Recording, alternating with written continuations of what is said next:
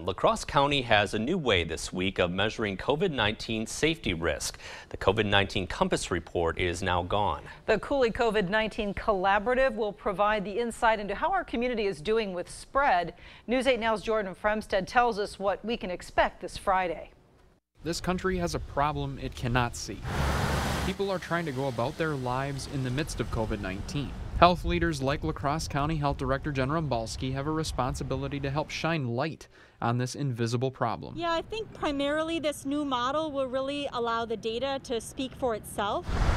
La Crosse County used to show how severe COVID 19 spread was in the community. You know, the previous process was very transparent. We want this process to be as transparent as well. Like most information in 2020, research improves, and the new information helps create new approaches to understanding virus risk in La Crosse County. The biggest difference is that it is more flexible and that it um, it doesn't have an overall indicator light. La Crosse County officials will release data from the Coulee COVID-19 Collaborative every Friday. The new risk assessment includes nine different markers to show COVID-19 spread risk level. The previous model, you know, wasn't perfect. No model is going to be perfect.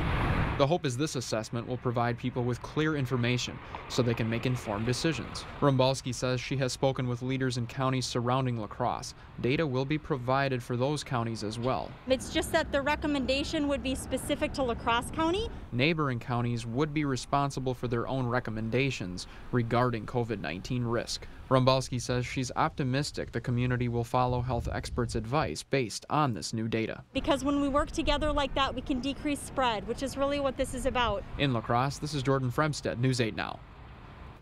Great Rivers United Way does a survey for its Compass Now assessment. Now that is a separate report to highlight community needs in the region. It is not related to the old COVID-19 Compass. And health leaders also ask you to fill out that the survey, if you do end up receiving one, the deadline for this survey is August 28th.